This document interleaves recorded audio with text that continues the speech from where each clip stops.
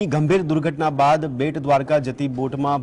overload ભરાતા પેસેન્જરને લઈને media દ્વારા અહેવાલો પ્રસારિત કરાયા જે બાદ મોડે મોડે તંત્ર જાગ્યું અને ઓખા અને બેટ પર જે જગ્યાએથી પેસેન્જર ભરવામાં આવે છે ત્યાં પોલીસ બંદોબસ્ત ગોઠવવામાં આવ્યો એટલું જ નહીં અહીંથી ફેરી બોટોમાં પેસેન્જરની તુલનાએ લાઈફ જેકેટની કમી પણ જોવા મળી છે જે પણ લાઈફ જેકેટ છે હતા તેમાં પણ ખામીઓ જોવાળા જોવા મળ્યા છે તો તંત્ર તરફથી પ્રાંત અધિકારી દ્વારા કરાયેલી તપાસ દરમિયાન યાત્રિકોએ પણ અસુવિધાને લઈને રોષ ઠાલવ્યો હતો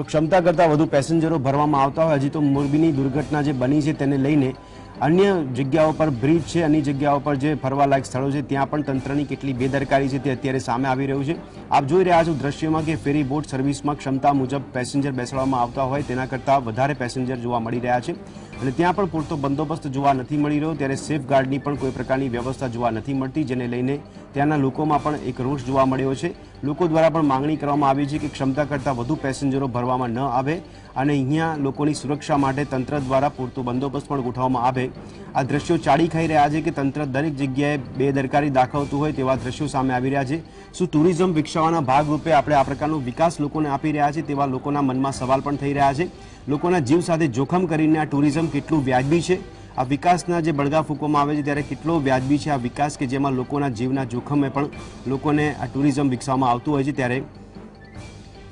તો આપને જણાવીએ કે એક બાજુ જે દ્રશ્યો જોવા મળી રહ્યા છે ગઈકાલના જે હજી ઘટના તાજી છે જેના હજી ચોવીસ કલાકનો સમય પણ વીત્યો નથી એવી ઘટના એક બાજુ અને બીજી બાજુ આ દ્વારકાના બેટમાં જે બોટ ફેરી કરવામાં આવે છે તેમાં મોટી સંખ્યામાં માત્ર ક્ષમતા કરતાં વધારે મુસાફરો જોવા મળી રહ્યા છે ત્યારે બીજી બાજુના દ્રશ્યોમાં આપણે જોવા મળી રહ્યું છે કે જે ક્ષમતા છે બોટની તેના કરતાં વધુ લોકોને મુસાફરોને બેસાડવામાં આવ્યા હોય તે પ્રકારની આયોજન કરવામાં આવ્યું છે આ કેટલું વ્યાજબી છે કે જ્યારે મોરબીની દુર્ઘટના બની છે તેના પરથી પણ આપણે કોઈ બોધપાઠ લેતા નથી અને તંત્ર દરેક જગ્યાએ નિષ્ફળ કે બેદરકારી દાખવતું હોય તેવા દ્રશ્યો સામેથી કે આવી રહ્યા છે ત્યારે ક્યારે તંત્ર જાગશે ક્યારે લોકોની સલામતી માટેની ચિંતા કરવામાં આવશે તે પણ એક સવાલ લોકોના મનમાં થઈ રહ્યો છે આપ દ્રશ્યોમાં જોઈ રહ્યા છો ક્ષમતા કરતાં વધારે મુસાફરો